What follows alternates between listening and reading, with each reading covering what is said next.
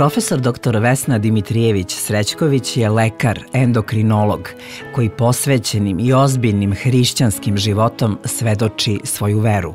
Pored medicinske terapije, njeni pacijenti dobijaju i lekove iz duhovne apoteke – Rođena je 23. juna 1960. godine u Beogradu od oca Stančeta Dimitrijevića, građevinskog inženjera poreklom iz Crne Trave i majke Ruže, rođene Kuzmanović, po struci bibliotekara, rodom iz Donje Gorevnice kod Čačka.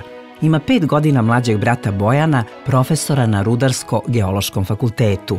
U braku sa doktorom Brankom Srećkovićem, kardiologom, dobila je sina Milovana, koji završava osnovne studije na Arhitektonskom fakultetu Univerziteta u Beogradu.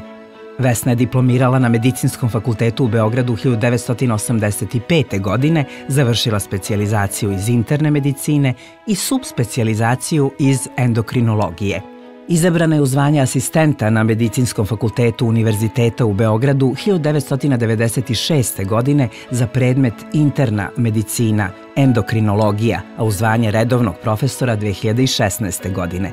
Šef je jedinice za ishranu i prevenciju metaboličkih poremećaja, Centra za terapiju ishranom, posebne oblike terapije i neuropatiju u diabetesu na klinici za endokrinologiju diabetes i bolesti metabolizma od 2003. godine.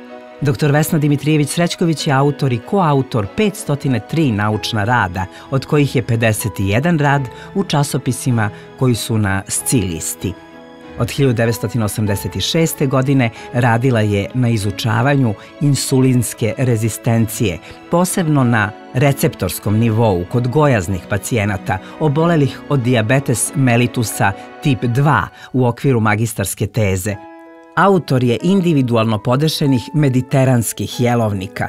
Poseban doprinos dala je u stvaranju i primeni doktrinalnih stavova u oblasti ishrane, posebno u gojaznosti, premetaboličkom i metaboličkom sindromu, predijabetesu i diabetes mellitusu, diabetesnim komplikacijama, arterosklerozi, masnoj jetri, infertilitetu, depresiji, karcinomu i prevenciji navedenih bolesti.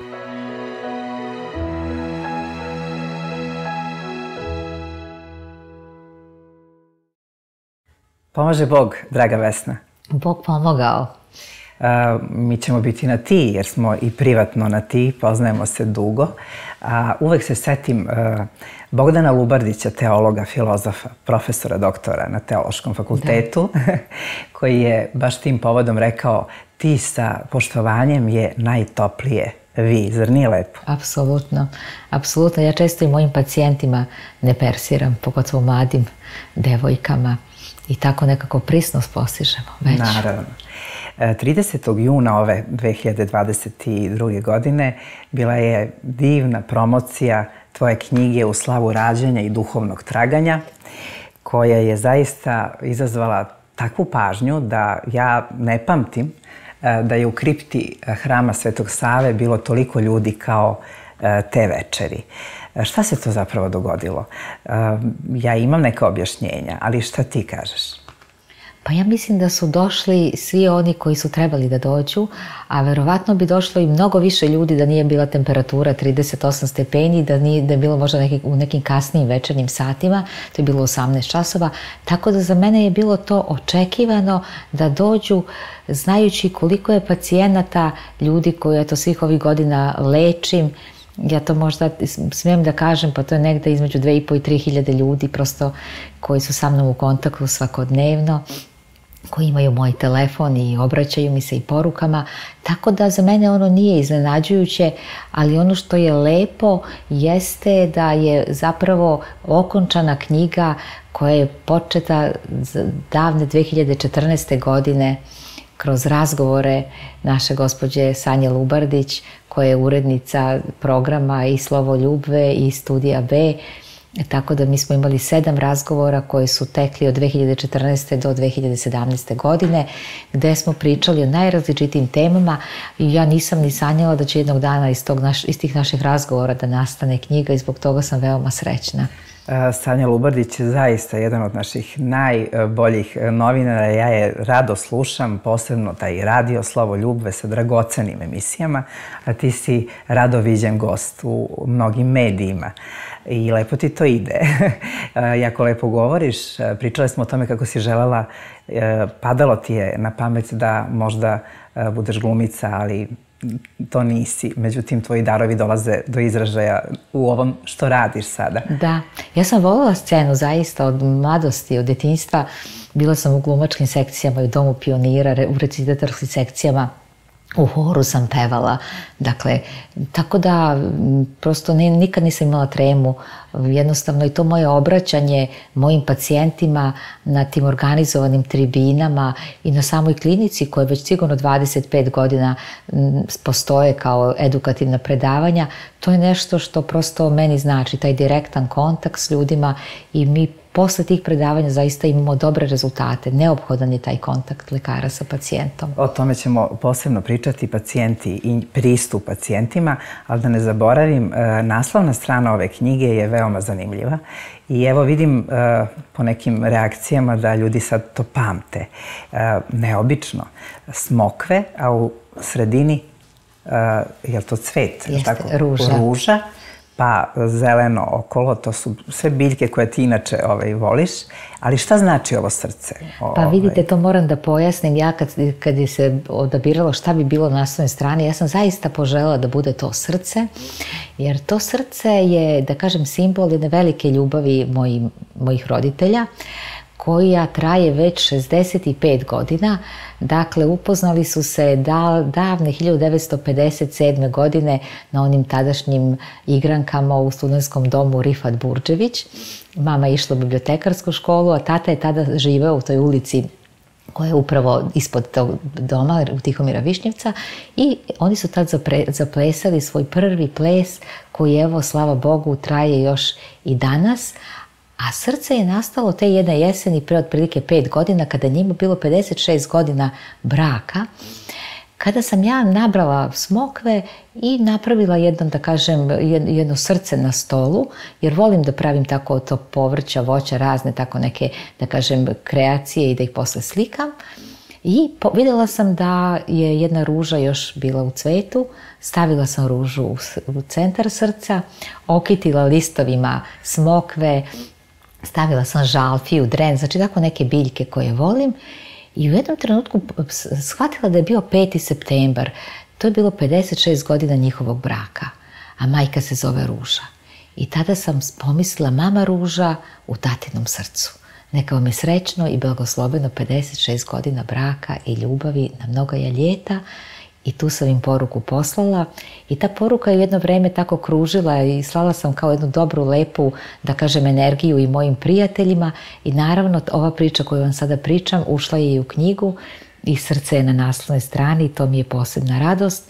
I radost mi je, znate, roditelji su ipak u zrelim godinama, tata ima 92, mama imao negde 85 godina, e, preležali su koronu ovog proleća, bila je životna ugroženost, bolničke, bolničko lečenje, jednostrana upala pluća, znate, to, to su već, da kažem, delikatne stvari. Moja želja je bila da dok su živi, dok su na nogama, bude promocija ove knjige, da se ja eto njima obratim i da im zablagodarim za svu ljubav koju su pružili. Ja nisam znala da su uh, oni tu, ali kada si to pomenula, dirljivo je bilo zaista vidjeti ih u prvom redu i kako su bili radosni zbog uh, da. tog događaja i zbog svega. Uh, I naravno, ono što se primetilo to je da, da stvarno je to par koji, koje prožima ljubav. Uh, to se videlo i posle kad smo sedeli u parohijskom domu i deluju mnogo, mnogo mlađe. A i oni su uh, imali, kako ti kažeš, bili su ugroženi ne samo koronom, nego su preležali i ozbiljne bolesti oboje. Kako da ne? I izašli iz svega toga, radosni i veseli, sada zdravi. Dakle, tvoj život je prepun događanja, naši životi jesu svih nas, ali ti nekako svemu tome prilaziš na poseban način. Kakvo je iskušenje bila ta bolest tvojih roditelja? Poslećemo i onom drugom da. delu. Da, pa vidite, interesantno je da oni kao bračni par dobijaju oboje kancer i to istog, da kažem, sistema, a to je urinarnog sistema. Mama je imala kancer na ureteru ispod bubrega, a tata je imao ono što se dešava kod svih u starosti koji pređu 80 i nekog godinu, prosto im vrlo često viđamo, viđamo tu promenu na prostati, tako da kod tate nije bilo problema, dobio je hormonsku terapiju i to je se prosto rešilo. Kod mame je bila složena priča zato što je jednostavno taj tumor blokirao normalan rad bubrega i mora je bubreg da se izvati. I kada je prošlo recimo nekih šest meseci, urađene su sve, da kažem, primenjene terapije, desilo se da je se pojavio jedan recidiv, znači koji je bio u Karlici.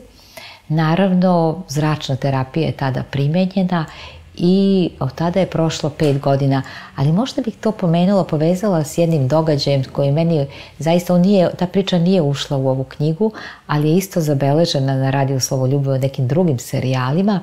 Odnosi se na jedan, jednu moju konferenciju u Grčkoj, na Santorini ostrvu, gde sam ja sedela te večeri u jednom restoranu koji se zove Božija bašta i sećam se naručila nešto što smo voleli uvek da naručimo, neku pastu sa morskim plodovima, To je bio jedini put da sam bila sama na Santoriniju, a uvek bih voda, vodila, znači, ili nekog od porodice, prijatelje, kumove, drugarice, znači nikad nisam išla sama, uvek imala, imala bi, da kažem, društvo da i drugi uživaju na tom lepom ostravu. I tada meni stiže jedna poruka, javlja se moj nekadašnji student, a sada eminentan doktor u kliničkom centru koji radi na magnetnoj rezonanci, doktor Bojan Banko, i piše mi u poruci, tvoja majka je izlečena, rak e, više ne postoji. I ja u tom trenutku počinjem da plačem, oni ljudi u restoranu misle da se nešto sa mnom dešava, da mi nije dobro, prilaze. Međutim, ja kažem, ne, ovo su suze, suze radosnice. I prosto taj trenutak ne mogu da nikada zaboravim. To je, to je, to je tako jedan, jedan dirljiv trenutak, ali ono što želim da kažem prosto svima onima koji prolaze tu priču, jer danas, kao što vidimo, epidemija je te bolesti, a možemo da možda kasnije pomenemo da li možemo i da je na neki način preveniramo i kako. Želim da poručim da ne treba nikad gubiti nadu. Da mi moramo prosto da verujemo i sve što možemo da uradimo i medicinski, a i duhovno. E, to duhovno zaista je, kad si ti u pitanju, izuzetno važno, jer ti si lekar verujući, ti si napravila taj spoj medicine i vere zaista u tvom životu i imaš potpuno drugčiji pristup i tebi slični, naravno, lekari, pacijentu. Kad pacijent uđe kod tebe u ordinaciju, kako ga doživljavaš? Pa ja nikad ne mogu da odbijem pacijenta, to moji pacijenti znaju. Oni mogu da čekaju i oni se kad dođu u ambulantu spreme, oni znaju da će to biti čekanje više sati, jer jednostavno i mnogo je pacijenata, ja sam, da kažem, ta koja tu radi, ali naravno nikad nisam sama, uvek su tu moji specijalizanti i moji studenti, svi oni koji uče od mene i oni, oni prosto kucaju, mere pacijenta, traže rezultate, a ja gledam u pacijenta. Znači ja sam to organizovala, to je kao jedna košnica. Ja ne mogu da gledam u kompjuter, to znači zamolim kolegama, ja samo diktiram, ali gledam, to mi jako mi je bitan taj vizualni kontakt s pacijentom. I ono što, što je važno, često pacijenti dođu zbog jednog problema, recimo imaju, da kažem, polinodoznu strumu, više čvorova štitaste žlezde i sad je to veliki strah da neki ne ode u, u, smer, u smeru kancera A ja onda tu, eto, rešimo taj problem, uradimo markere, ako treba i endokrinog hirurga, uključimo, prosto sve završimo što treba. Ali ja vidim da se radi o osobi, recimo, koja ima 37 godina i prvo što pitam, kažem, da li ste rađali? A ona kaže, pa nisam još, ja kažem, a kada ćete? Pa kaže, još nemam za koga. E, onda se tu dogovaramo da to mora da se rešava i ja tu pomažem. U svemu tome radimo analize, umeđu vremenu ona nađe mladića, dođe, um, ako je mladić gojazan i njemu pomognemo da rešimo problem. Ali ono kad je vera u pitanju, kod svakog tog pacijenta koji mi se pojavi, ja gledam, gledam gospoda u tom čoveku. Kao da mi je gospod zakucao na vrata. I zato ja ne mogu da se oglušim, ja moram sve da uradim. Jedna od poruka koje sam dobijala sad posle promocije knjige, a divne su te poruke koje ja prosto objavljujem na stranici Mediteranska ishrana Vesna Dimitrijević-Srećković, jeste da mi se obraća jedna pacijentkinja i kaže vi svakoga gledate kao da je vaš rod najrođeniji.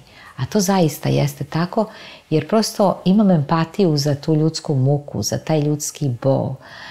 i jednostavno gledam da sve što mogu učinim, da im olakšam i ljudi to prepoznaju.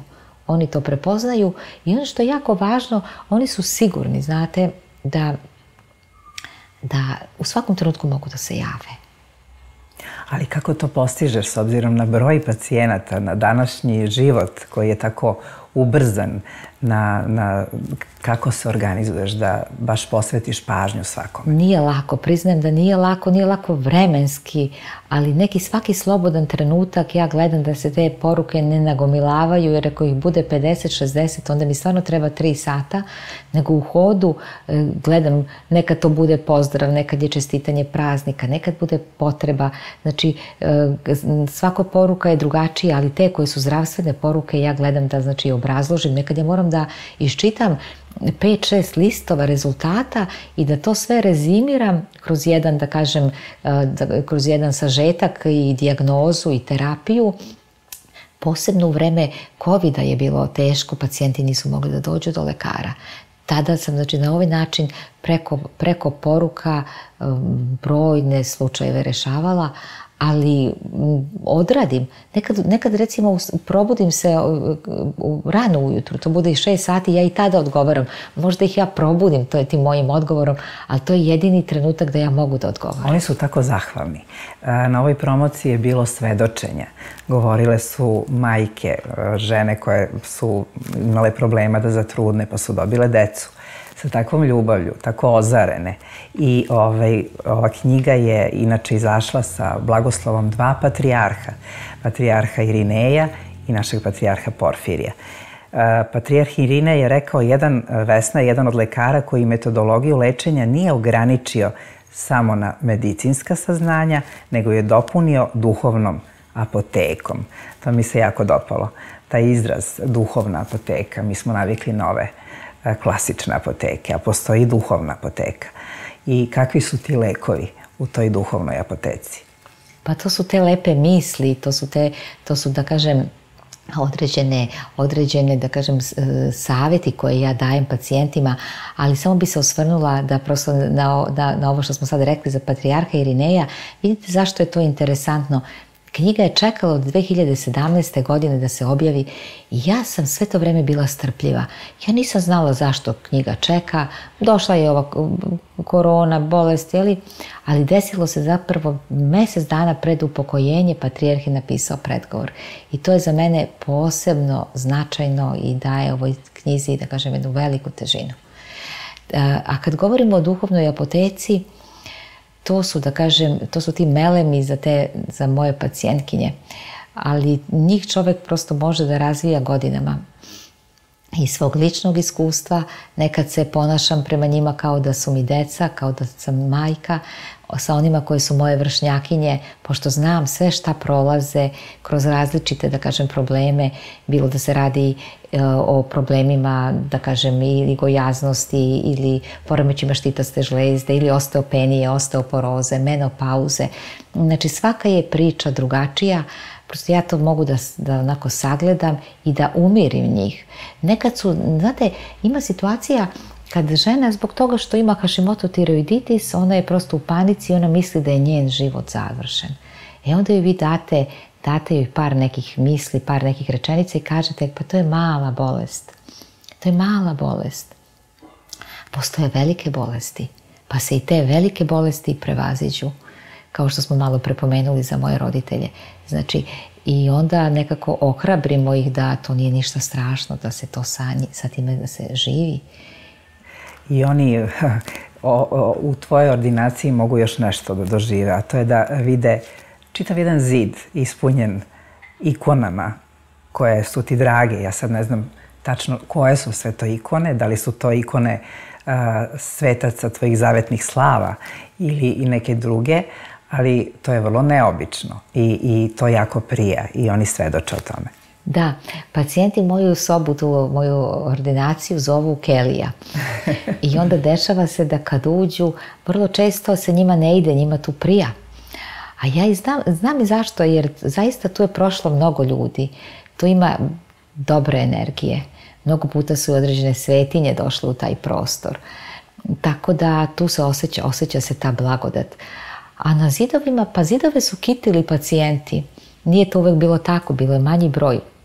Onda su pacijenti vidjeli da to ja volim, da mi znači i onda bi sa nekog putovanja donosili. I mi smo to tako stavljali, da kažem, gotovo je cijela soba ispunjena ikonama. Tako da lep, lep jedan prostor. Ja ja dobijem uh, juče uh, jednu poruku i, i uh, fotografiju sobe carice Aleksandre Romanov, koja je takođe imala čitav zid ispunjen ikonama. Ja kažem, evo to kao naša Vesna. Uh, jako lepo to deluje i veoma je zanimljivo. Ja bih možda pomenula, mislim, ikone su sa raznih mesta. Nedavno je stigla jedna ikona iz Rusije koji su jedan bračni par gde sam pomogla da se rodi, ja mislim, dvoje dece, njima, sestri od tog gospodina i još jedno dete, znači troje dece u toj porodici. Oni su iz Rusije naručili ikonu Svetog Luke Krimskog koje, eto, koja sada krasi sobu. Ali ja bih još jednu ikonu pomenula, to je ikona cara Nikolaja Romanovog, a upravo smo mi sada u danima, ovim julskim danima, znači yes. kada se eto slavi 17.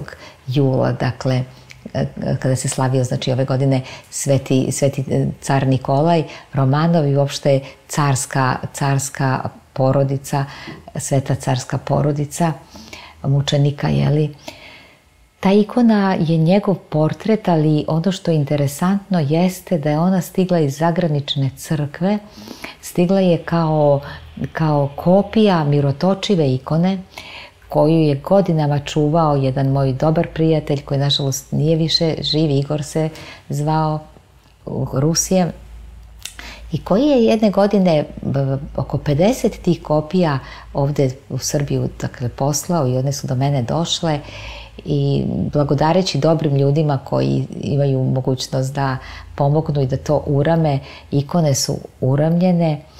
I recimo kroz nekih, da kažem, kroz jednu deceniju ja sam te ikone delila, ali ne onako brzo da za mesec dana podelim, ja sam prosto po nekom osjećaju njih davala i sada se ta ikona, ikone te nalaze u raznim, da kažem, manastirima širom Srbije, ali recimo gde najdalje je otišla, nalaze se dve u Vancouveru, nalaze se i jedna, u, jedna se nalazi u Australiji, jedna je u Trstu u crkvi Svetog Spiridona, A jedne godine, sećam se kad smo polazili na Eginu, na hodočašće, ja sam osam takvih ikona ponela.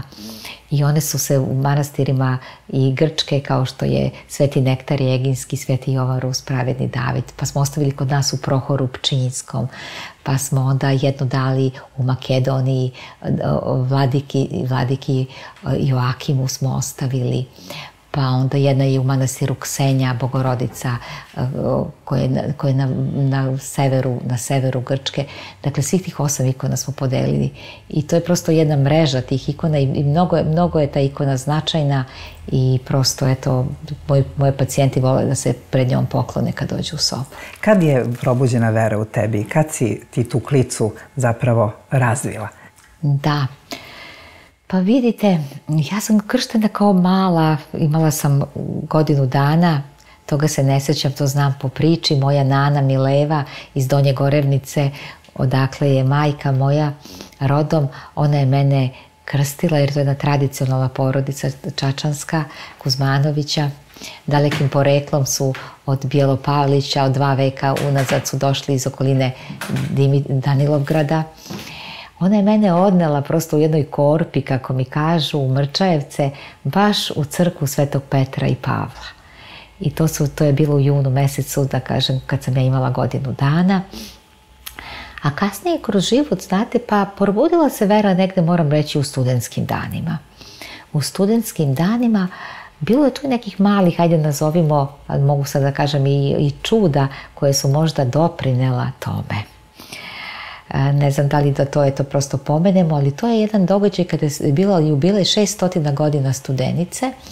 Ja sam prislužujući sveće za porodicu prislužila i za jednu, da kažem, svoju simpatiju u tom periodu mladalačkom i desilo se da je meni suknja, dakle, koja je bila onako boje, boje še, one kraljevsko plave od lana, to je bio jedan komplet koji je meni moja tetka iz Vrnjačke banje šila, da je suknja počela da, da, da, gori ja sam nekako rukama uspela da tu vatru zaustavim i kada smo pogledali kasnije pažljivo, to nije, bilo, to nije bila okrugla, da kažem, okruglog oblika promena, ona je imala oblik srca, pravog pravca tog srca, jedne tačke posle toga i sećam se da je moja mama onako na mašini cik-cak onako odradila, obradila to da se to ne bi paralo i onda smo jedan džep koji je bio s druge strane prešili i stavili na to srce i to je bilo moje svečano odelo. To je bilo neko malo čudo, eto to srce tako koje se desilo i možda tada vera, eto tih godina počinje, ali nije dugo prošlo to su bile godine, dakle, kad sam ja završila studije, negde 85. 6. Ja sam imala dva sna koje su bila vezana to je bilo možda nekoliko godina pred one ratove 90-ih. Sanjala sam crveno nebo, skroz crveno kao, kao vatra nebo i sebe kako nosim jedan veliki krst. Taj krst je bio kao recimo tri moje visine. Znači to je ogroman krst znači neki verovatno znak nekog velikog krsta koji svi mi nosimo u životu. A vrlo brzo posle toga desilo se da sam sanjala jedan stup koji otprilike, tako sam ga ja doživela, da 300 metara se pruža u nebo, s jedne strane je ravan, a sa druge strane su stepenici, onako sitni stepenici, I jedan svetitelj u žuto-zelenoj odešti mene je podizao stepenik po stepenik. To je trajalo, ja sam se penjala, penjala, penjala. On je išao iza mene i prosto me onako gurao, gurao. Ja sam došla do vrha stuba. Sa te visine ja sam videla nešto što se zove beskonačnost. Ja sam videla jednu horizontalu neba, gradova.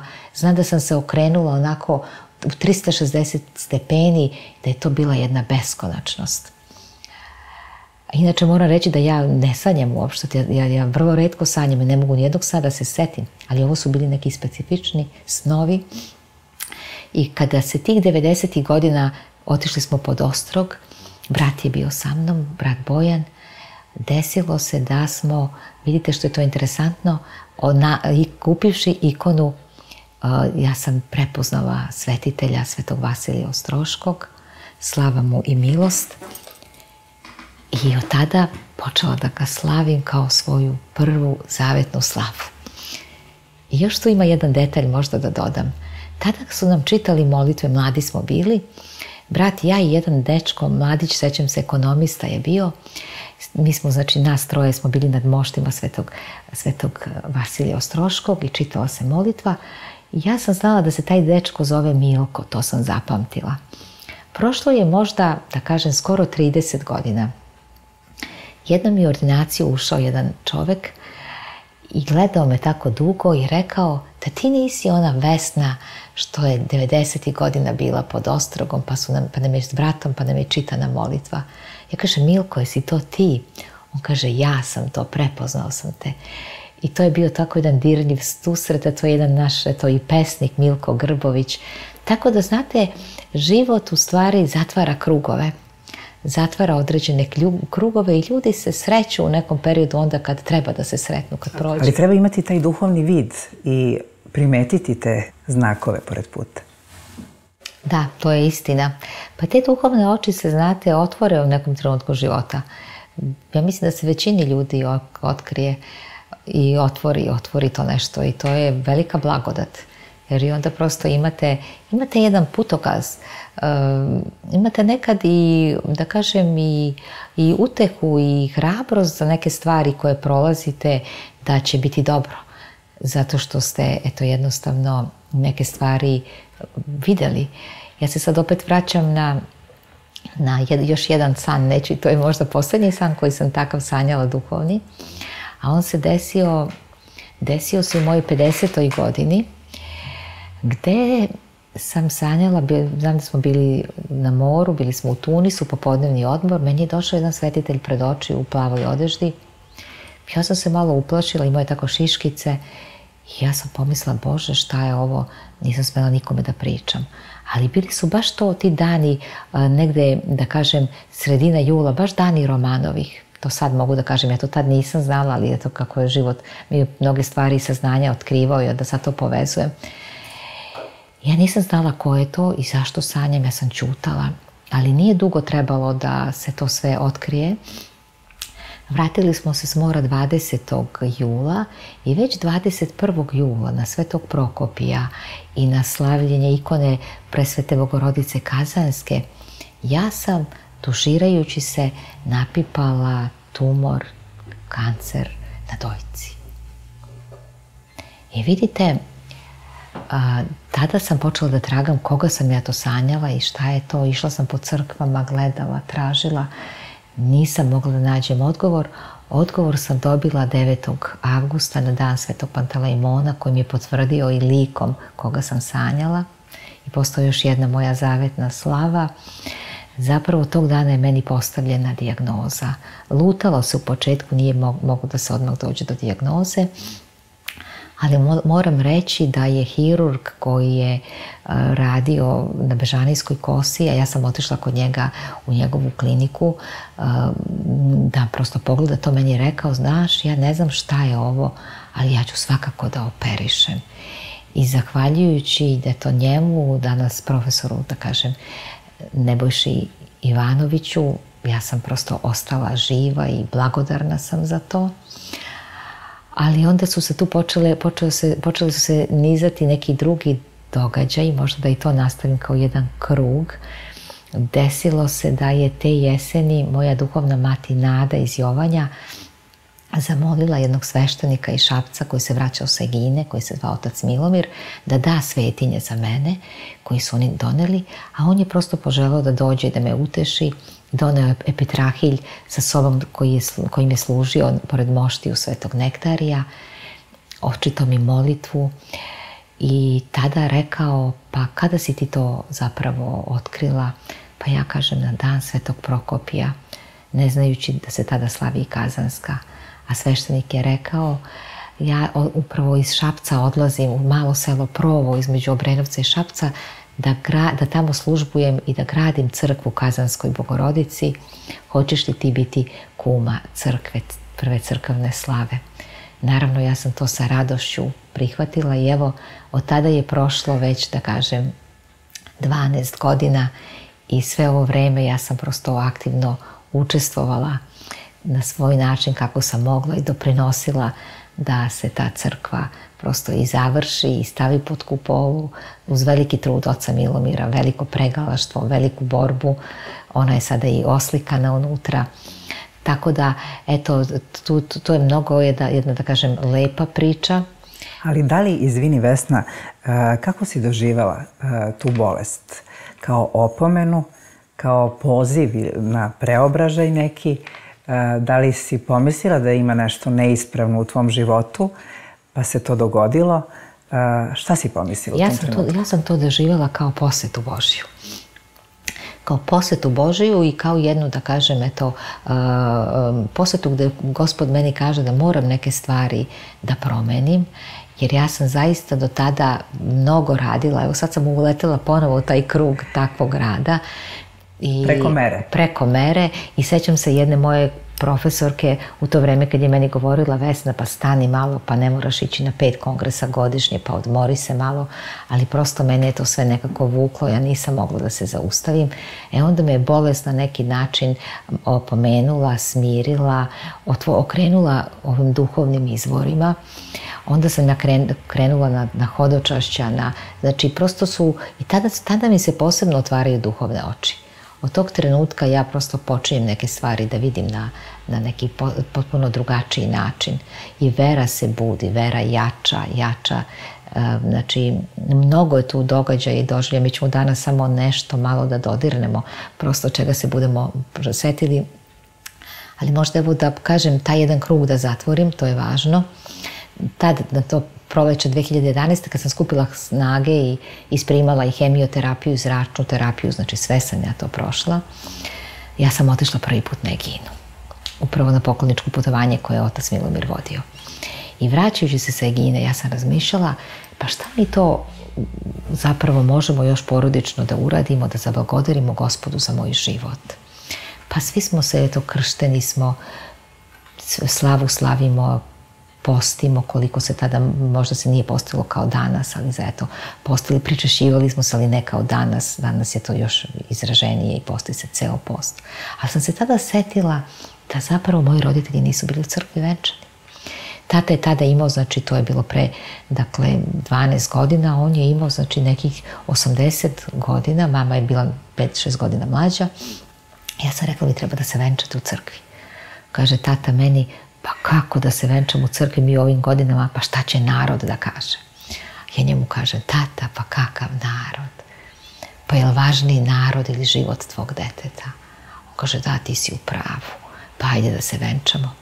Tako smo to, sećam se, taj petak je bio, sedela sam u pokrovu presvete Bogorodice gore gde je moja matična crkva gde sam rođena na Zvezdari i vodila razgovor sa sada, već je to, nije ni on živ, upokojio se našim parohom ocem Žarkom Maničićem i on je meni rekao Vesna imali veće radosti nego da nas dvoje zakazujemo večanje za tvoje roditelje. Tako da su se roditelji venčali, bilo je isto juni mesec, onda smo otišli u Crnu travu, rodno tatino mesto i tamo smo dočekali hirurge koji su, koji su mi pomogli hirurga koji mi je operisao i doktorku Jasnu koja me povezala sa, nji, sa našim hirurgom. I dešava se da žena od, od mog hirurga tada u jednom trenutku kad je tata izneo slike, fotografije sa venčanja, da je ona izgovorila jednu rečenicu kako je ovo lepo, ja bih želela da se venčamo u crkvi, ali muž mi nije kršten.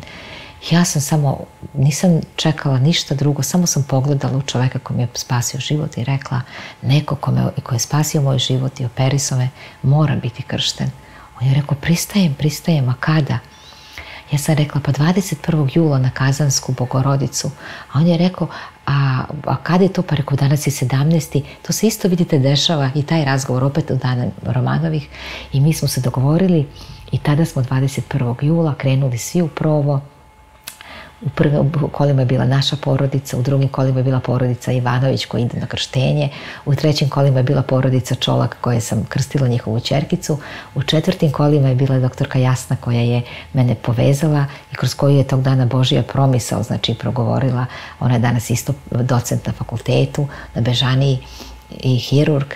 A, I s njom je u kolima bila Snežana, moj prijatelj za ceo život, unuka našeg patrijarha Pavla. Tako da to je jedan dan koji se prosto pamti i tu se razvilo jedno kumstvo i jedna, da kažem, takva jedna veza i zatvorio se jedan divan krug. Kad si pomenula, to je predivno, zaista predivna priča. Kad si pomenula crnu travu, to je jedno od tvojih odredišta, od mesta koje su tebi jako važna.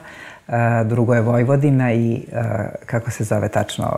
Korlatoš. Korlatoš i treće, uh, treće Santorini. Tako, je li tako? Tako je. Uh, to su mesta koja moraš da posetiš da bi se osjećala dobro, ja mislim, barem jednom u toku godine, li tako? Da, kad su bile parne godine, ja sam obilazila sva ta tri mesta, jer u Crnu travu smo odlazili prosto porodično i tamo bi se napajala na to i, da kažem, na tim proplancima, tom divnom vazduhu, vodi izvorskoj, borovnicama, divljim malinama, divljim kupinama, divljim jagodama, znači lepoti jednoj, obilju pečuraka, vrganja, lisičarki koje ja volim.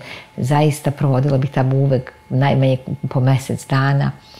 A onda desilo bi se da odemo gore u Vojvodinu na Korlatoš, gde smo iznajmljivali čitave dve decenije kuću od naših prijatelja Makse i Nene koji su napravili jedan pravi raj. Znači to je kućica broj 57 na tom kanalu gde ima 100 kućica, gde vi imate mol, gde imate, gde imate lokvanje i crvene i bele, gde vam labudovi dolaze i jedu iz ruke gde pecamo, znači mi smo pecali, prosto porodično smo volili da pecamo pa dolaze gosti, pa se ta riba, da kažem, priprema. Divni dani, nezaboravni dani, svake parne godine.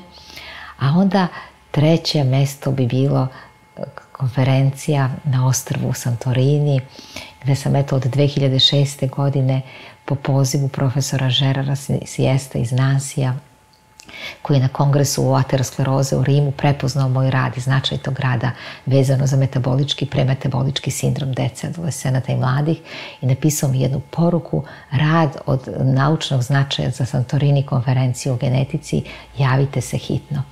I od tada 2006. pa evo do ove 2000, da kažem 22. ja sam svake godine odlazila, sem te 2010. kad sam bila bolesna, ali tad su moji radovi otišli zahvaljujući profesorki Zorani Jelić sa farmacije koja je odnela moje radove. Tako da to, to je jedno energetsko ostrvo, jedan vulkansko ostrvo koje ima, da kažem, neobične plaže od crnog, crvenog, belog peska, koje ima, da kažem, uh, divnu arhitekturu, mm, koja ima mnogo toga što meni znači. Tako da kakva je sada situacija na Korlatoš, više ne možemo odlaziti tako jer je, više nisu naši prijatelji živi u Crnu travu naravno idemo. Evo ja sam sad bila na Santoriniju, tako da verovatno sam sad udahnula tu energiju upravo pre mesec dana. Ne samo što uh, voliš da pecaš uh, i da bereš pečurke, ali praviš razne specialitete od pečuraka, nego uh, ja sam na jednom snimku videla kako jako lepo igraš. Bila si na jednoj grčkoj svadbi prisutna, ne znam kako, i Boga mi zaigrala baš onako kao Grci. Jesam, da.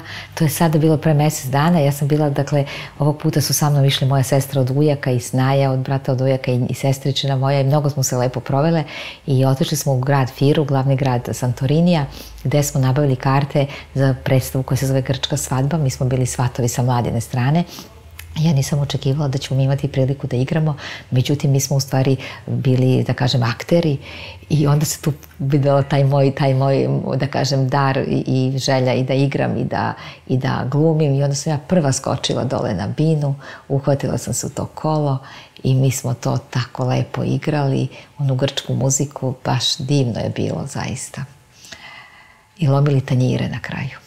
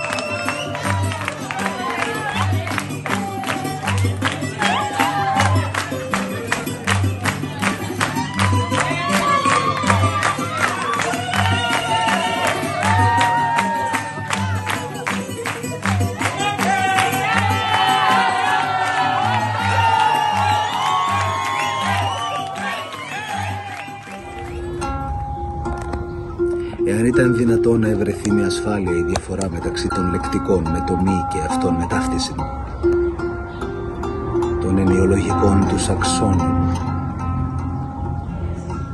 τότε θα είχαμε τη δυνατότητα να προβλέπουμε το μέλλον με ικανοποιητική ακρίβεια. Όμως τούτον είναι αρκετά δύσκολο. Συνεπώς, τούτο σημαίνει ότι η πρόβλεψη διαφόρων μελλοντικών γεγονότων με τη χρήση ισοψηφιών. Είναι δύσκολη και επικίνδυνη.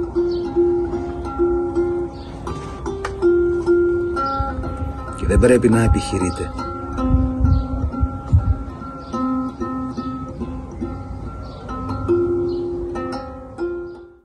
Pošto smo pominjali ovu knjigu Slavu rađanja i duhovnog traganja, ja bih da pomenem i tvoju prvu knjigu koju sam ja odmah pročitala. Zaista, ona nije za jednom da se čita, nego da se ima pored sebe i da se često gleda i konsultuje ono što piše. Uh, ta knjiga je o ishrani zapravo, mediteranskoj, koju ti inače, o kojoj pričaš i pišeš, posebno toj Facebook stranici. Pa me interesuje zapravo koji je to idealni jelovnik da bismo bili zdravi? Pa to je, da kažem, mediteranski jelovnik koji je zapravo isto što i naš hrišćanski post ili možemo obrnuto da kažemo da je hrišćanski post ekvivalent mediteranskoj ishrani i zato je i nastala knjiga, dakle Post put u život, zajedno sa profesorom Bogoslovskog fakulteta Vladimirom Vukašinovićem, gde je profesor pisao svoj teološki deo, ja sam svoj medicinski deo, ali ono što je posebno značajno, u ovoj knjizi se nalaze posni jelovnici koji pacijentima i uopšte našem narodu uvek trebaju, A pošto sam ja autor mediteranskih jelovnika koji su nastali još pre 30 godina, koji su prosto, da kažem, referentni jelovnici u našoj zemlji, ja sam na isti način napravila i ove posne jelovnike, znači božićni, vaskršnji, petropavlovski jelovnik sa onim kombinacijama hrane koja se nalazi dakle, u tom godišnjem dobu kada je, kada je post. Pa šta je suština? Suština jeste, da kažem, obilje voća, povrća i žitarica, maslinovo ulje, riba plava, To je dakle mediteranska ishrana koja još pored toga sadrži znači malim količinama, ne prevelikim, i mesne i mlečne proizvode, je li tako? Jer važno je reći da ne smemo da, da preteramo sa proteinskim unosom, da ne bi oštetili naše bubrege, a da ne bi doprineli i razvoju karcinoma. Tako da e, mediteransku ishranu razliku od posta samo to što ima, imate belančevine, a post je ovo isto voće, povrće, žitarice, maslinovo ulje, riba i suština jeste pola kilograma voća, pola kilograma povrća jer i dosta žitarica zamena za hleb kao što je recimo durum testenine, kao što je kačamak, pasulj, sočivo, gde mi unosimo zapravo dijetna vlakna. Jer ta dijetna vlakna su hvatači našeg šećera i masnoća u digestivnom sistemu i na taj način mi dobro jedemo, mi smo siti, a imamo dobar holesterol, trigliceride, dobru glikemiju, imamo dobru telesnu težinu, samim tim sprečavamo da dobijemo i taj takozvani poznat sindrom, metabolički sindrom koji je rizik za brojne hronične bolesti i za aterosklerozu i za depresiju kod gojaznih i za neplodnost i kod muškaraca i žena i za karcinom. Znači sve nam to post čini. Ja kad držim predavanja u crkvama, onda je naziv predavanja hrišćanski post u prevenciji i lečenju recimo depresije ili neplodnosti ili masne jetre ili sve ovo zajedno, kažemo, hroničnih bolesti. A kada držim predavanja na kongresima i u bolnicama, naziv predavanja će biti mediteranska ishrana u prevenciji prediabetesa, diabetesa i drugih komorbiditeta. Tako da na taj način, znači ono što sam ja dokazala tokom 30 godina sve benefite mediteranske ishrane i na regulaciju diabetesa i na smanjenje hiperinsulinizma i homa indeksa insulinske rezistencije i lipidnog statusa, ja tvrdim da to sve čini post. Znači imamo pojedinačne slučajeve, ja pa, pra, pratim moje pacijente, da veliki broj sveštenstva su, i monakinje su moji pacijenti, ja pratim njihove rezultate i u postu i van posta i mi to možemo da analiziramo. I naravno to je post vezan samo za hranu, međutim taj duhovni moment je jako bitan. Znači post je obična dijeta ukoliko nije propraćen tim duhovnim uh, iskustvom, duhovnim podvigom zapravo. Tako je. Uh, da li i to savetuješ kao lekar Naravno. verujući svojim pacijentima? Naravno. Ima baš u jednom, u jednom, u jednom delu knjige piše o tome da mi u postu zapravo zadobijamo smirenje. A svim tim što smo zadobili smirenje, uh, smanjuju se naši hormoni stresa, adrenalin, noradrenalin, glukagon, hormon rasta, glukagon kortizol. I samim tim nema skoka pritiska. Nema, nema poremećaja lipidnog statusa, nema skoka šećera. Ja često na predavanjima znam da kažem, mi smo duhovnim aspektom posta i smirenjem rešili problem i šećera, i masnoća, i pritiska, a šta je to sveto trojstvo? To je rizik za aterosklerozu. I zato i jeste pod naslov knjige Hrišćanski post u prevenciji diabetesa, ateroskleroze i kancera. I sad ima to, često mi postavljaju pitanje kako to post može da kancer prevenira. A ja ću to baš da objasnim na ovaj način, malo pre već rečeno, znači u postu nemamo životinske masnoće. Rađena su određena istraživanja na životinjima koja su pokazala ako se da neka toksična substanca da se izazove rak, one, one životinje, znači kunići, oni koji su bili na biljnoj hrani nisu dobili rak oni kunići koji su bili na mrsnoj, jakoj, gurmanskoj hrani, oni su dobili rak. Znači to negde štiti i sam organizam, dakle ta taj manji unos belančevina, mada mi u postu jedemo biljne belančevine, iz pasulja, iz sočiva, iz pečuraka, jedemo ribu u danima kada je dozvoljeno. Dakle, na taj način može da nam pomogne post, ali još nešto, kada smo dobili to smirenje, mi smo ojačali i svoju antioksidantnu zaštitu. Te naše, da kažem, e, enzime, e, e, znači mi smo prosto, došlo je do, do pada tih antioksidantnih enzima kao što je superoksid izmutaza, glutatijon peroksidaza i samim tim popravio se imunitet. A kad se popravi imunitet, nećemo imati ni autoimune bolesti, neće biti ulcerozno kolitisa, Hashimoto tiroiditisa, bronhijalne asne, miastenije gravis i drugih autoimunih bolesti, a samim tim, preven, tim smirenjem prevenirat ćemo zbog boljeg imuniteta i rak. To je još jedan mehanizam. A, ti si inače neko ko jako dobro kuva. to nekako ide uz ženu, uz suprugu, majku. A, šta najviše voliš da kuvaš i kako stigneš, pored svih ovih obaveza, da se baviš i kuhinjom? Pa ja imam jednu teoriju da u stvari mi ono, kad, mi, mi energiju koju dajemo tokom kuvanja toj hrani, mi posle to unosimo u svoj organizam. I ako s ljubavlju kuvamo, to posle može da nam jako prija tako pripremljena hrana. Ja volim da kuvam, volim da idem na pijacu, nema dana kad ja nisam na pijaci, znači ja stalno nabavljam i novu hranu, svežu hranu, e, kombinujem I često to što skuvam ja volim da aranžiram lepo i da pravim neke, nazovimo i kebane od hrane na tanjiru i da to fotografišem. Šareni tanjiri. To su takozvani, ja sam ih nazvala šareni tanjiri i onda eto stavljam na svoju stranicu. Naravno, posle se to prebacuje na sajt.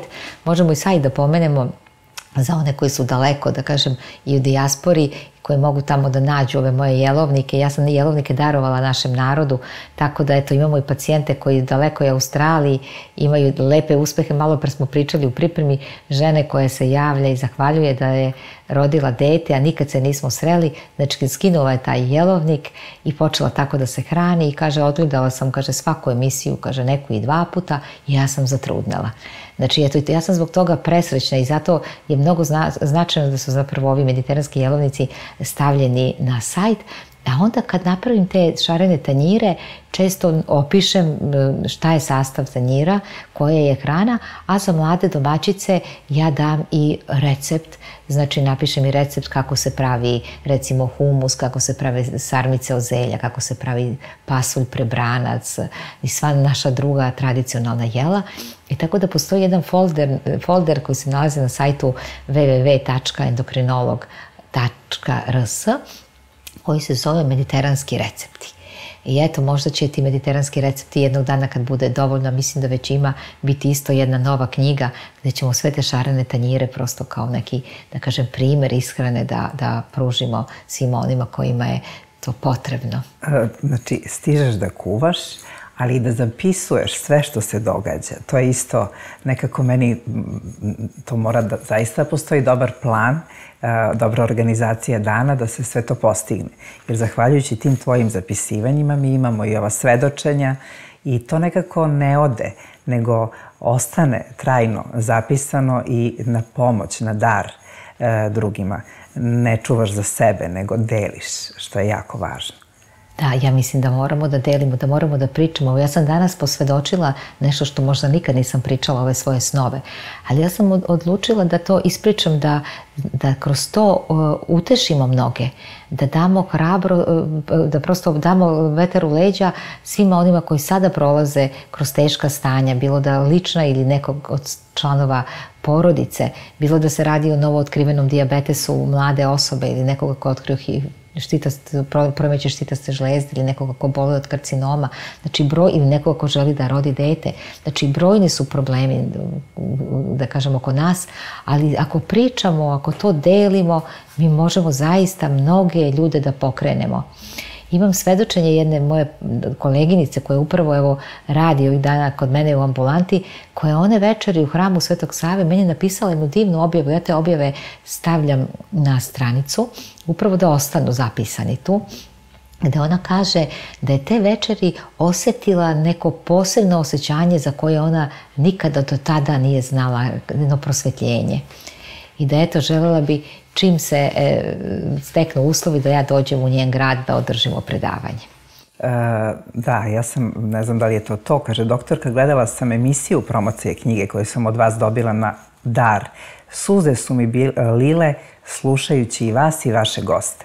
Žao mi je što nisam mogla da dođem i tako dalje. Ne znam da li je grlim vas srcem, celim vaša ljilja, svi pričamo u kući o vama, ostali čekaju da završim čitanje knjige da bi je uzeli u ruke. Volim vas. Pa onda voljena i poštovana profesorka, hvala vam na znanju, veri, radosti, nadi koje stalno širite. Spajate ove divno zemaljsko i nebesko, pretke i potomke, medicinu i veru, san i javu, davnu prošlost i sadašnjost. Misleći na budućnost i podmladak, davno ste posejali seme za večnost. Voli vas Danijela. To je doktorka Danijela Jeftić koja je pa, naša... Koja je govorila? Koja, ne, ne, ona nije govorila, nije. ona je iz hitne pomoći doktorka i ona je i pesnikinja, jedna divna duša Tanana, da. Primetila sam da, da si okružena nekako uh, tim divnim ljudima koji, kao i ti, uh, žele da daruju ljubav. To se nekako šire ti krugovi, zahvaljujući toj tvojoj energiji. Šire se. Znate što se nekad dešava kod mene u ordinaciji? Recimo, redki su oni trenuci kad mi prosto možemo malo da predahnemo, da stanemo, ali nekad kada osetimo da je neka osoba prosto tu koja ima još nešto duhovno da nam poruči, mi zastanemo i desi se da tu uđe par nekih ljudi, svako ima drug, drugi problem i to bude, bude neki, nazovimo, eh, ajde, mali, mali naš duhovni, da kažem, sastanak gde se tako dobra energija razmeni da svi odu ozareni posle toga. A, ima jedna lepa priča sa uh, doktorom Đurovićem. Sada sam se setila. Da li da. možeš da ispričaš? Da, mogu. Branko Đurović, tako? Da, da, da, hirurg naš, hoću da... I sam profesor Đurović, naš eminentni neurohirurg je gostujući u emisiji Balkanskom ulicom pre možda nekih 5-6 godina, pitala ga je voditeljka da li da li ima neki srećan trenutak u životu, a on je rekao da, nedavno mi se desio jedan srećan trenutak koji prosto ne mogu da zaboravim, a to je došla jedna moja koleginica, verujuća, to sam bila ja, i donela mi jednu relikviju da se pomolimo pred operaciju jedne monahinje iz Čačka. Ja sam, mi smo se pomolili, ja sam operaciju završio u rekordno vreme, duplo kraće nego što je trebalo da traje operacija, a monahinja je posle toga ustala i prohodala. I to jeste zaista isceljenje, eto, moje duhovne mati nade, koja nije više živa poslednjih nekoliko godina, ali koje smo produžili život, koja, koja je imala jedan oblik benignog raka kičme koji je onemogućio nju da hoda, a svetinja koja je njoj tada pružena i pred kojom se pomolio profesor Đurović bila je jastuk svetog nektarija u kome se nalazi odežda sveštenička kojim je služeno pored moštiju svetog nektarija čitavih 20 godina. Taj jastuk, koliko sam ja čula, kruži i uh, bude kod onoga kome je potreban, zahvaljujući tebi. Posle tog događaja zaista e, desilo se da otac Milomir koji taj jastuk i sačinio jer je dobio nekoliko odeždi sa Egine, neki poklonio manastirima, jedan, jednu odeždu nekoliko jastuka podelio. On je meni dao taj jastuk, prosto to je jedan blagoslov, možda i da kažem koji ja prosto morala sam da prihvatim.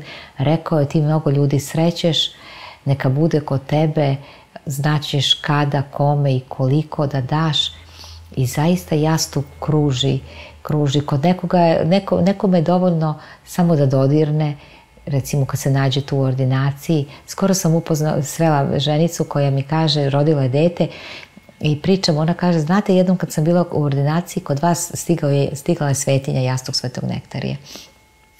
I kaže, vi ste mi dali da se pomolim i kako sam, kaže, stavila na grudi taj jastuk, ja sam rekla, ovo je moja beba. I zaista nije prošlo dugo, možda godinu nešto dana, ona je danas majka jednog dečaka koji ima jedno 3-4 godine, vidite. I tako pacijenti to sve pamte i možda neki moj zadatak da ja te priče uh, da ih nekako sabiram, što u zadnje, poslednje vreme to i činim, e, uzmem snimač govora na telefonu i kad dođu i kad je neka interesantna priča, mi je prosto zabeležimo, jer ta priča može kasnije da bude transkript i da uđe u neke druge, da kažemo, neke druge knjige i tako. Zahvaljujući tebi, uh, pogledala sam, odgledala jedan divan film o svetom uh, Luki Krimskom i zaista sam pod utiskom. To je bio ne samo hirurg, nego i arhijepiskop. I ja verujem da ima mnogo, mnogo njih koji ne znaju za Svetog Luku, a, koji je poreklom iz Rusije. I a, evo, koliko on tebi znači? Mnogo mi znači zato što je bio profesor i medicinskog fakulteta i profesor teološkog fakulteta.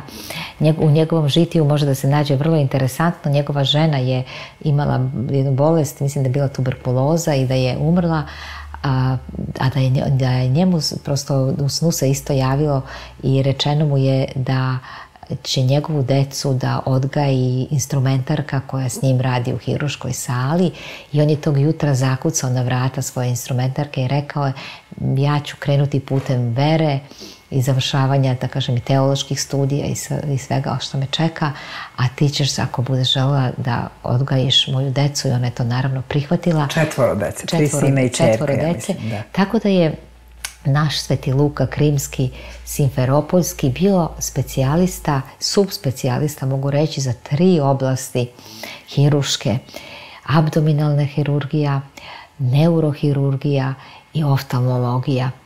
Radio je doktorat iz e, oblasti gnojnih rana, znači bavio se u onom periodu i, i da kažem i tim ortopedskim problemima na kostima, ali njegov život je zaista bio neobičan jer on je u ono vreme, da kažem, Rusije u 20. veku teško je bilo biti i na medicini i na teologiji, on je to sve uspevao. Vrlo, u jednom periodu života je proganjan bio do Sibira, znači mnoga iskušenja je proživeo i na kraju sobstvenu bolest dobio i vid izgubio. Ali veliki, veliki svetitelj, veliki iscelitelj, veliki pomoćnik koji se slavi 11. 11. juna Ja svake godine 11. juna, pa to je bilo i ove godine, bila sam kolačar na našoj Vojno-medicinskoj akademiji koja slavi Svetog Luku Krimskog, gde se u Paraklisu, gde služi naš otac Aleksandar Saša Sovilj, koji je isto duhovnik koji obilazi bolesnike celoj Vojno-medicinskoj akademiji i pričešćuje, moli se za njih. Dakle, tog dana smo proslavili Svetog Luku Krimskog i bilo je, bilo je zaista veličanstveno. Uh, kažu za njega da nikad nije počinjao operaciju dok jodom ne napravi krst, znači na mestu koje treba da operiše. I mislim da svi hiruzi, svi lekari koji se bave hirurgijom treba da ikonu ovog svetitelja imaju sa sobom u svojoj ordinaciji i da pred svaku operaciju se pomole. Ja često kao dar hirurzima volim da poklonim upravo ovu ikonu. E, setila sam se da je, da je bio obdaren za crtanje, za slikanje, ali e, nije otišao tim putem, već je krenuo da se bavi medicinom da bi pomagao ljudima, da služi zapravo drugome. To je jedna ozbiljna i velika odluka, ali je koristio posle taj svoj dar e, vezan za anatomiju. Pa ima dosta njegovih da. Crteža, njegovih radova, gde on ljudsko telo zapravo crta. I to, boga mi, poput Leonarda, zaista odlično. Da, hiruzima je to jako važno da prosto znaju sve te anatomske, da kažem, tačke i da bi mogli da budu dobri hiruzi. Tako da njemu je taj dar svakako koristio u njegovom svakodnevnom radu i u praksi. Kad si pominjala svoje zavetne slave, koliko ih ima danas? Ja mislim desetak, eto, mogu da ih pomenem. Kako da ne? Dakle, moja devojačka slava jeste Sveti Vasilije Veliki, znači koji se slavi 14. januara, koju slave moji roditelji. Slava porodice Srećković jeste Sveti Nikola. Zatim, e, rekla sam da sam prvo krenula da slavim Svetog Vasilija Ostroškog, dakle pre 30 godina, a onda posle bolesti su se otvarale sve ove slave. To je bio Sveti Nektar Jeginski, Sveti Jovan Rus, isto čije se mošti nalaze u gradu Neu Prokopionu. Vrlo neobična ličnost. Evi jeste, koji je bio vojnik Petra Velikog, zaista veliki, veliki iscelitelj, veliki pomoćnik i često ga obilazimo kada odlazimo na poklonička putovanja. Onda rekli smo Sveti, Sveti Luka Krimski, sad po mesecima idem, onda sad u julu upravo Majka Božija Kazanska letnja, a 21. jula isto kad i Sveti Prokopije, a na jesen se slavi znači 4. novembra jesenja Majka Božija Kazanska. Onda u avgustu imam slavu Svetog Panteleimona, Zatim, posle toga, dakle, imamo Svetog Nektarija Eginskog 22. novembra i nisam rekla kad je proleće, u januaru Svetog Savu slavim a to možemo ispričati onu lepu priču, Svetog Savu, a u februaru Svetog Seniju Petrogradsku, koja je velika pomoćnica, da kažem, za sve ove moje buduće majke, koja je velika zaštitnica i dece i e, porodice i uopšte ljubavi. Tako da Sveta Ksenija zaista je e, ne, nešto što sve žene treba da prosto njoj čitaju i molitvu i akatist. I ne samo to, ti praviš slavske kolače sama, ne kupuješ ih, nego za sve te tvoje slave zavetne ti praviš sama kolač. Šta to znači? Pa meni tebi. to, da, meni to ide nekako od ruke, to meni nikad nije teško. Uh, sad se desilo kad je bio Sveti Jovan Rus 9. juna, a Sveti Luka Krimski 11. juna. Dva dana razmaka. Međutim, ove godine su na Vojno-medicinskoj akademiji, pošto je bila subota 11. pomerili dva dana ranije i na dan Svetog Jovana Rusa su oba prosto slavljenje Sveti Luka Krimski. Ja sam odnela dva kolača ali to nekako, ja uradim sa lakoćom, imam jedan, da kažem, prosto tu, da kažem, neki svoj sistem kako to radim i to mi ide, ja kolač napravim za, mogu reći, ajde da kažem, umesim za nekih 40 minuta dok se ispeče, ja nešto drugo radim, za dva sata je gotov kolač, u isto vreme se kuva žito, onda ono što je interesantno, ja uvek pravim koljivo, nikad ne meljem žito, nego su cela zrna, dobro ga skuvam i onda stavim recimo seckane ili mlevene orake i ne stavljam nikad šećer, stavim med i malo orašića, tako za aromu, i tako da to žito bude divno. I volim to žito uvek da podelim u crkvama, znate, da, da ja onda uzmem, stanem i uzmem tako ove male salvetice i onda rukom lomim komadiće kolača i stavljam tako žito i tako iz ruke dajem narodu. To mi je neko ko posebna radost. Naše je samo ono što darujemo drugima. Time se rukovodiš, imam utisak. Time i time. Tome to sam jednom prilikom našim mojim studentima rekla. Imate u knjizi taj deo, deo gde ja kažem njima, pa znate vi koji ste vaš, vas nekolo, nekolicina koji ste sa mnom ovde sada u ovom semestru, Ajde da malo nešto što duhovno da kažemo, jer ovo medicinski sve ima u knjigama, naučit ćete i tad sam im prvo rekla tu misao, nemojte se štedite u životu, darujte sebe drugima. Jer naše je samo ono što smo darovali drugima i onda nam se ta energija umnožena vraća stostruko. I to je zaista tako. I ti imaš primere da ljubav nikad ne odlazi u prazno, da se vrati. Iako nije u onom smeru u kojem smo mi želeli krenula, nego se nekako vrati iz nekog sasvim drugog e, pravca i dospe do naših srca. Apsolutno, ljubav, ljubav će pobediti uvek. Tako ljubav, ljubav treba prosto širiti i davati i ne štediti se. Znači ljubav prema čoveku pre svega prema svakom čoveku. A to je možda nešto što danas malo nedostaje. Tu ljudi svi treba da se malo zamisle, da zastanu, da ne osuđuju nikoga, da prosto praštaju. Nema razloga da, nema razloga da imamo u srcu neku lošu misao. Jer mi ako imamo lošu misao, mi ćemo sebe da izjedamo. To će našem zdravlju da, da, da, da prosto neće, neće nam dobro doneti. Čega si se setila ono jutros? Treba da se, e, šta, prepustimo, tako si rekla? A da, pa rekla sam da prepustimo sve gospodu, da. Da prepustimo i da ne, ne smemo da brinemo. Znači, to je teško ne brinuti. Znate, svi mi prolazimo kroz razne iskušenja u životu. Sad, kako da ne brinemo? I budu periodi kad brinemo, ali onda kad prosto još duhovno uzrastemo, onda shvatimo da gospod ne voli da mi brinemo. Jer ako mi brinemo, on, gospod će reći pa vi ne verujete u mene ako brinete. Vi ne smete da brinete, vi morate da se prepustite i da pustite, jer sve što se dešava na, u našim životima, Bog zna zašto je. Možda je to na isceljenje i naše i nekih drugih ljudi, na njihovo duhovno uzrastanje. Tako da ne smemo da brinemo. Još sam se jutro, ta misao stalno dolazi, da ne smemo da očekujemo ne smemo ništa mnogo da očekujemo. Ni od koga. Jer ako tako budemo radili mi ćemo zaista biti u jednom smirenju, a onda one radosti koje se dese, onda će nam one doći baš kao pravi dar i doneti nam, dakle, jedno baš onako ispunjenje. E, profesor Jerotić, koji je bio često gost ovih mojih emisija, je govorio da preterana briga prelazi u nebrigu. Tada u jednom prvom trenutku činilo mi se da nisam razumevala, međutim što sam više ponavljala tu rečenicu, više sam shvatala i to se nekako da. slaže sa ovim što si da. ti izgovorila. Da, u nebrigu prema nama samima. Naravno, naravno. Prema nama samima. A, pošto smo pričali o kuvanju, ti kuvaš za prijatelje, ali kuvaš i za svoju porodicu i tu je sin, Milovan, a, koji je krenuo putem svoga dede, tako? Kad je poziv u pitanju.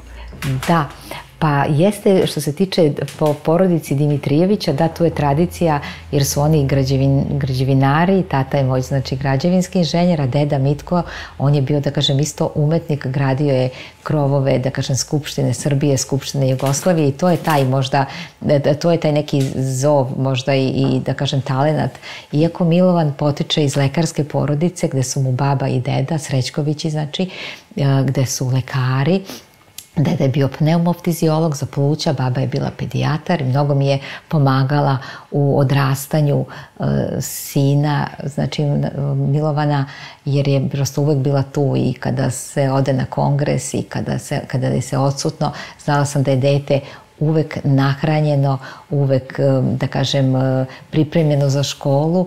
I naravno, znači to je lekarska tradicionalna porodica gde su, znači, roditelji, znači Milano otac Branko, kardiolog, gde, eto, i ja sam, znači, iz te struke, znači, ali Milovan jednostavno nije krenuo lekarskim putem, njega je prosto privukle su ga tehničke nauke, i evo sad je on završava osnovne studije na arhitektonskom fakultetu, što je možda interesantno da kažem da i za sina mog brata Bojana koji je nešto mlađi od Milovana nekoliko godina, on je sada prva godina građevinskog fakulteta, tako da to je, to, to je ta tradicija. E, da ne zaboravimo baku Nevenku koja je bila narodni lekar, to je isto zanimljivo. E, možda si na nju e, povukla neki gen, je li tako? Sigurno kažu da lik moj podsjeća puno na nju, iako je ona bila mnogo krupnija žena od mene, znači bar za 20-30 cm, jako krupna žena je bila, visoka. I pričaju ljudi da je ona zapravo porađala žene u tom kraju, razumela se i lekovito bilje, znači zaista je bila čudesna Kažu kad je sahranjena ovde u Beogradu, te neke 63. godine, jer moj deda kad je došao iz Crne Trave poveo je brojnu porodicu, znači e, svoju decu i e, majku i suprugu. E, narod iz tog kraja je izašao na to zlatansko groblje gde smo, dakle smo mi, da prosto je oda počast, jer je mnogo je dobra činila. Ja nekad kad šetam tim proplancima crne trave, prosto osjećam tu energiju, a ispričala sam na promociji njenu priču da ona nije mogla da rodi dete do svoje 40. ja mislim treće, četvrte godine i onda je usvojila jedno žensko dete i posle toga rodila je dakle mog, da kažem, deda, prvo jednu Katarinu baku, a onda mog deda Mitka. Eto. I Katarina je bila prisutna, ali tako?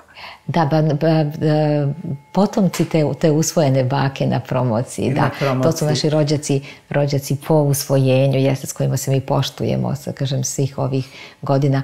A pomenula bi u Milovanovom odrastanju isto jednu osobu koja je mnogo značajna, to je prababa Javorka, to je, dakle, od svekrve svekrva, koja je, koja je, dakle, mi smo živjeli u, da kažem, dok su oni bili živi, to su bile četiri generacije i mislim da je to jedna poruka mladima da prosto za samo dete znači kada odrasta uz, u, u višečlanoj, da kažem, i porodici. Što je redkost u današnje vreme. Što je redkost, danas mladi hoće da budu sami. Ima to da budu sami prednosti, znate, sigurno, ali kad pogledamo sve ukupno, koje je to bogatstvo koje dete, dakle, dobija kroz sve te osobe koje su u njegovom okruženju i svu tu ljubav i ja ne, ne mogu da ne pomenem sestru, o, baba tetku, stojanku, znači koja je to Milovana volela kao svo, svoje, svoje najbliže, da kažem, ovaj, unuče. E, tako da svima njima zaista mnogo sam zahvalna jer mislim da su utkali tu ljubav u njega i da je on danas jedan, da kažem, čovek koji je zreo, koji prosto zna šta hoće i nosi tu ljubav u srcu, znate nosi, vidi se to po nekim, da kažem, stvarima, on poštuje, poštuje i kult onih koje nema, on je taj koji će da ga kaže mama danas je taj i taj dan, mi ćemo da odemo do groblja kad je u pitanju znači rodbina baka, prabaka, deka i tako da. To je divno rekla ova uh, pacijentkinja koja je to primetila, ta lekar, je tako, Daniela, da ti spajaš zapravo sadašnjost i prošlost i oslanjaš se na prošlost, ne zaboravljaš, beležiš. E, nekako je to jako važno jer jedini način da ostane upamćeno je ukoliko je u našoj svesti pre svega, a potom zapisano. I ja mislim da imaš plan za mnoge nove knjige, je li tako? Pa jeste, možda da ne otkrivamo, ali ja prosto znam već neke koje su snimljene, da kažem, isto emisije, koje su putopisi, da kažem, kroz uh, ovu poslednju deceniju svih tih svetih mesta, ali mnogo je važno da se ta priča ispriča odmah kad se čovek vrati. Jer kad prođu dve, tri godine, znate, to se zaboravi. I ja sam sad kad sam došla sa Santorinija, recimo to mi je ostalo neispričano da tom radiju, znači našem slovo ljube i to ćemo odraditi na jesen, prosto da priču o Santoriniju mi moramo da zaokružimo jer ona nosi neku, neku svoju poruku ove godine novu. I ono što je zanimljivo, to je da ste uh, uh, vas dve, zapravo Sanja Lubardić i ti, nekako se prožimale. Ona je mnogo toga saznala od tebe, ti od nje kao vrstnog novinara i to je, uh, ja mislim, prvi put na ovaj način da ostane zabeleženo nešto što je bilo na radiju i bilo toliko slušano. Ja sam zapravo slušajući slovo ljubve, evo ponavljam, čula za tebe. To je tako bilo milozvučno, toliko je to bilo nekako sa puno nade, puno ljubavi. Ja sam pomislila, Bože, pa to je veličanstveno da toliko dece se rodilo, ne zahvaljujući ginekologu, nego endokrinologu koji uoči na vreme gde je, gde je problem, što je najvažnije postaviti dijagnozu. Vesna, gde su granice nauke? Ti si naučnik. Da. Pa, granice nauka, nema nauka granice to je jedna beskonačnost, to se prosto otvara i širi, to su horizonti. Ja kažem, u tom, u tom mom kabinetu nalaze se folderi da ja pretpostavljam da ja u ovom životu možda ću samo trećinu toga uspeti da napišem i da objavim, jer to se sakupljalo, sabiralo i jednostavno kratak je život da bi se sve to obradilo, ali mislim da, mislim da e, to je poruka i za mlade. Ne treba da, ne treba da misle da ih negde u inostranstvu čeka sada nešto obećano.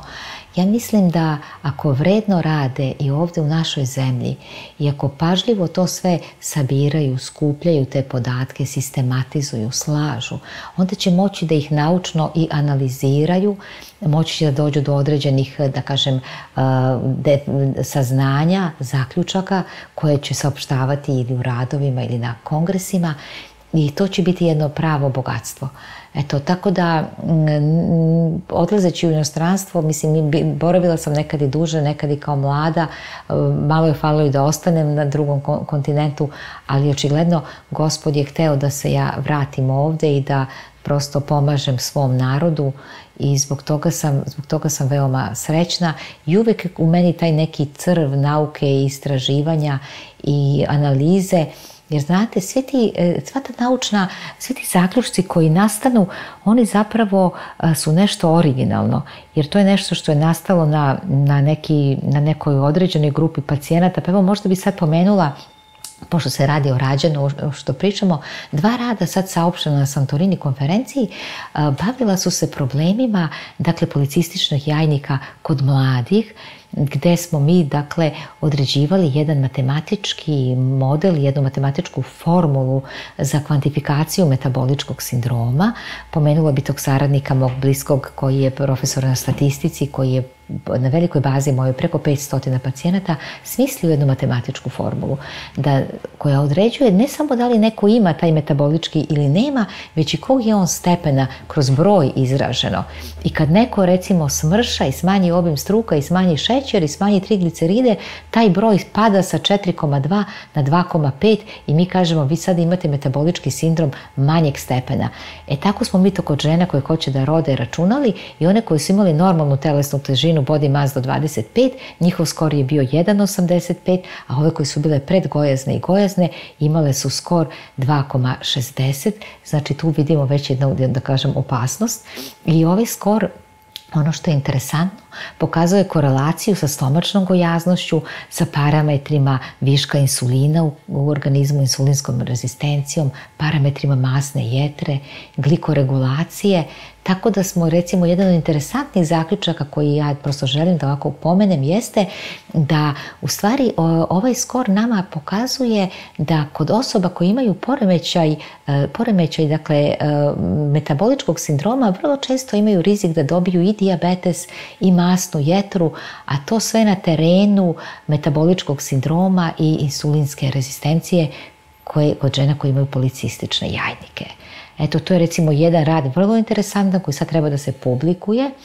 I drugi rad se bavi problemima akni, akne koje su nama u tim nekim rotterdamskim kriterijima jedan od znakova da neko ima hiperinsulinizam, da ima masnu jetru, da ima visok testosteron, znači i povećan svakako obim struka, tako da akne nam ukazuju na problem vezano za policistične, jaj, policistične jajnike. Kad sam malo pre rekla gde su granice nauke, pomislila sam na odnos nauka, religija i kada je to, koji je to trenutak kada zapravo uh, prepuštamo sebe gospodu. Da. I, I na tu vrstu na izlečenja Da, razumem. Da. Pa eto, to je kada se dođe u neku, da kažem, tešku životnu, bezizla, bezizlaznu situaciju, kada sve već pokušamo, ako se radi o osobi koja recimo je bolovala od karcinoma ili neke teže autoimune bolesti i kad više nemamo neke nade da može medicina da nam pomogne, onda se obično ljudi okreću gospodu, znači to je neki trenutak. Ili kod žena recimo koje ne mogu 10 godina da zatrudne i sad kod te žene treba probuditi veru. I kad se mi susretnemo, ja često pitam a, a kome se vi molite, a da li se molite? I tu dam neku duhovnu, da kažem, pouku, neku poruku, neku ideju.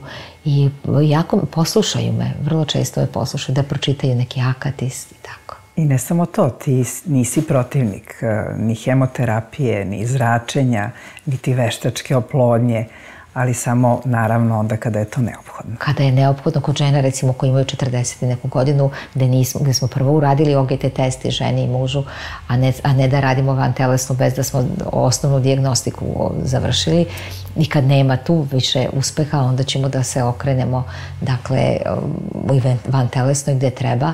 A što se tiče hemioterapije zračne terapije često sam dolazila da kažem do nekih e, oprečnih da kažem stavova i pacijenata kojima je savjetovano da će samo gospod da pomogne da ne primaju ovu terapiju, onda ja se tu umešam i kažem da to nije ispravno, prolazeći kroz svoje sobstveno iskustvo, ja moram da kažem da je gospod i dao lekare i da lekari su ti koji će da odrede znači, terapiju, sve što treba I često se izgubi vreme čekajući, ljudi misle da prosto to ne treba da se primeni, ali zato, zato prosto apelujem na sve da slušaju lekare, da nijednu terapiju ne odbiju, da budu srećni pre svega što mi ovde u Srbiji dajemo besplatnu hemioterapiju. Jer odlazeći u svet ja sam sretala ljude koji imaju kancer i koji nemaju sebi, da kažem, nemaju dovoljno novca da priušte terapiju, jer ako nemaju neki određen vid zdravstvenog osiguranja, oni, to, oni tu terapiju ne dobijaju. Ovde u Srbiji svi mogu da dobiju terapiju i zato tu ne treba prosto razmišljati, treba biti blagodaran i zahvalan i primeniti sve da bi došlo do izlečenja. Vesna, ti verovatno znaš koliko ima a, takvih lekara poput tebe verujućih. Je li to veliki broj? Pa mnogi, mnogi, verovatno da ima dovoljno lekara, mnogi o tome i ne pričaju, verovatno. Mnogi možda e, nisu, nisu otvoreno ispoljili. Ja mislim da je sve više verujućih lekara.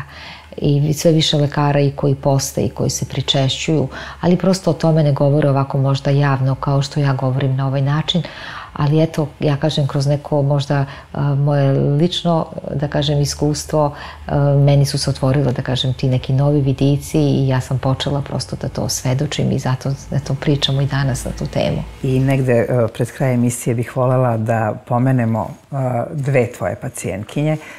Jedna koja je, koja si pronašla čvor na štita, štitastoj žlezdi, koja je želela da zatrudni i druga, tvoja studentkinja, koja je ostala u drugom stanju i svi su je nagovarali da da se izvrši abortus.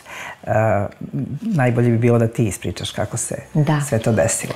Zaista ta priča svedoči da ništa u životu nije slučajno, da ni jedna naša izgovorena reč, pa verovatno i ova danas na ovaj način u emisijama koje divno Marina vodiš zaista. Ja sam još kao devojčica i mlada, ti od, vod, vodiš emisije, ja mislim, decenijama, ali tako? Jeste. Nas dve smo inače vršnjakinje i to, ja mislim, šest dana razlike, ali tako, dana, ista tako, godina, da. isti mesec. Jeste. Tako da sam ja od rane mladosti pratila ove emisije uvek s radošću, zaista su onako, u ono vreme kad niko nije govorio o veri, ti si to prosto spojila i bili su onako melem za dušu meni svih ovih, da kažem, decenija i eto ja i tebi blagodarim na tom daru ovaj, tvom koji si ti prosto i prepoznala i koji neguješ, jer mislim da je to jedan veliki tvoj doprinos ovom našem narodu, da se vera širi i da prosto kao nacija budemo zdraviji i jači i da sačuvamo svoju nacionalnu tradiciju i veru. I da se borimo protiv bele kuge. Naravno, da se borimo protiv bele kuge, kako da ne, to je jako važno.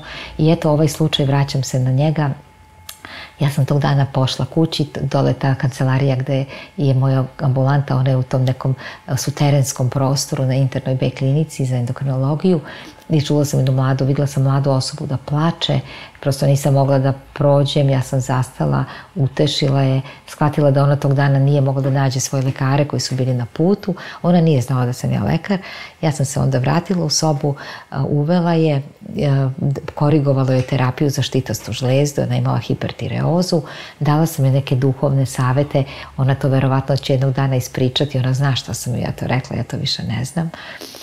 I desilo se da je posle recimo mesec i po dana ona došla, da je štitasla žlezda bila potpuno dobra, dobri rezultati su bili, funkcija je ulazila u remisiju bolesti, ali ono što se meni nije dopadalo, to je bila ta polinodozna struma koja je bila baš izražena, više čvorova.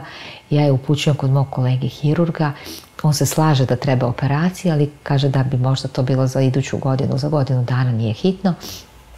Ja ne mogu da objasnim zašto sam ja to tako tada osetila, ali ja sam znala da to mora da se uradi i ja sam njega prosto preklenjala da on ju odmah operiše.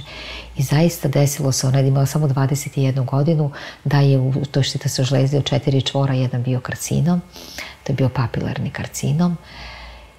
I onda ostalo još jedno malo parče žlezde, tako da ona morala da ide na reoperaciju gde je bio još jedan peti čvor koji je bio benigna promena.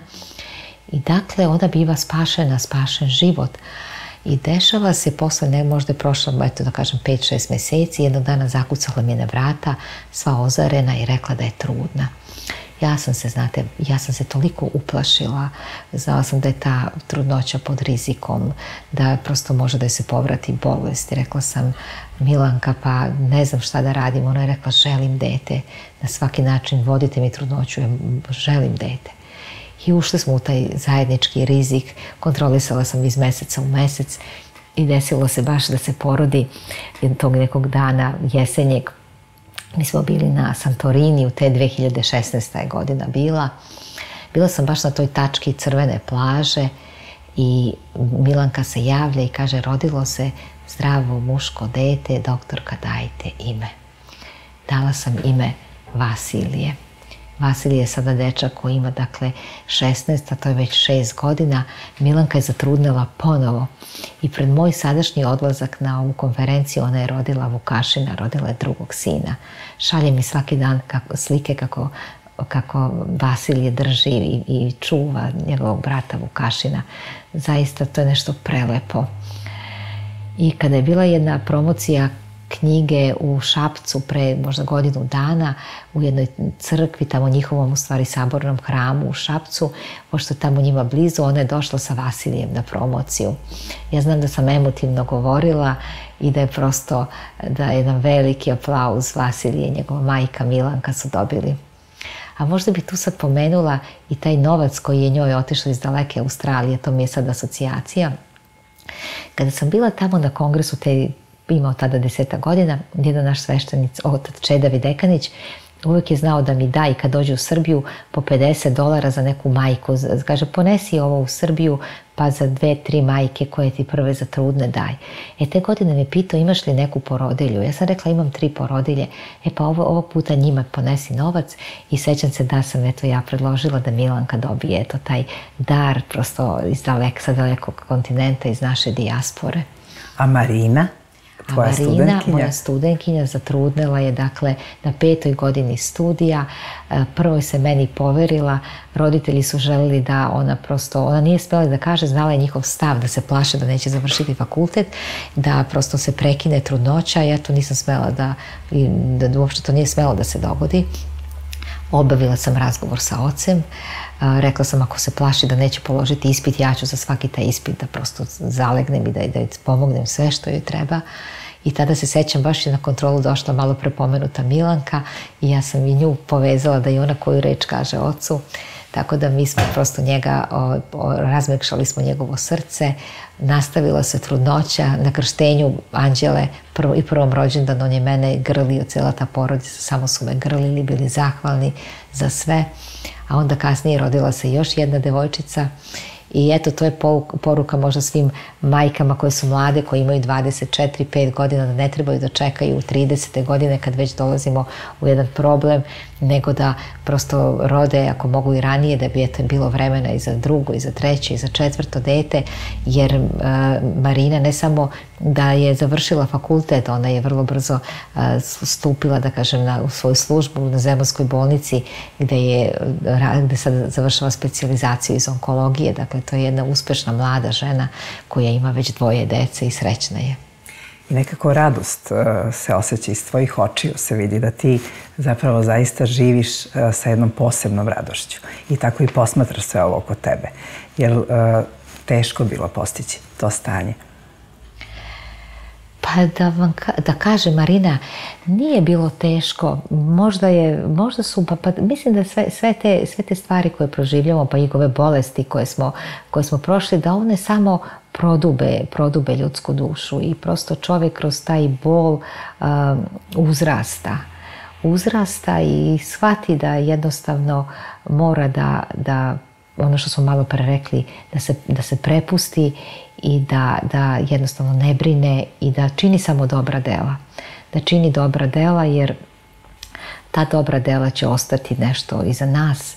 Znači ne trebamo, ono što smo pomenuli, ne trebamo se štediti ni u jednom trenutku. Trebamo to, da kažem, prenositi i na mlade generacije, prenositi na decu, eto kao što ja kažem i sin, i sin Milovan je prosto i on i kod njega su otvorene da kažem te, da, te duhovne oči i on mnogo često kada čuje da neka beba, neko dete bolesno, on znam da se i on sam pomoli pomoli, ali zato što je to ljubav koju je dobio od cele porodice i od njegovog oca Branka, koji isto nije prosto darovao ga ljubav, ljubavlju u svakom trenutku, prenao mu znanja sva i prenosi mu i iz oblasti i fotografije i pecanja i, da, i arhitekture isto i divnih filmova. Znači mi trebamo u svoju decu prosto da, da ulažemo i da ih učimo da budu dobri ljudi. Prelep uh, lančić uh, sa priveskom, uh, jer ti mnogo znači? Znači mi kako da ne, ja ga stavim, ne nosim ga često, ali danas sam ga stavila prosto u našu emisiju Bogorodicu. Mislim eto da, da njoj isto moramo da se često obra, obraćamo, da ona uznese molitve svome sinu, da bi on učinio, ispunio sve ono što je nama u životu potrebno. I šta molitva znači u tvom životu? Molitva, ma molitva je u stvari nešto što našu dušu, hrana za dušu. Hrana za dušu, nešto što nas oplemenjuje, nešto što nas jača, nešto što nam život čini ispunjenijim, to je molitva. Mnogo toga smo naučili od tebe, Vesna, tokom svih ovih tvojih gostovanja uh, u medijima i u ovoj emisiji posebno, uh, što pre, ponovo, nadam se imamo o čemu da pričam. Hvala ti mnogo na ovom razgovoru. Blagodarim, draga Marina, bilo mi uživanje ovde u ovom prostoru da se danas družimo i da pričamo na sve ove teme. U Mitropolitovom konaku uh, crkve svetih apostola Petra i Pavla, kao i crkva u kojoj si ti krštena. Krštena, tako je.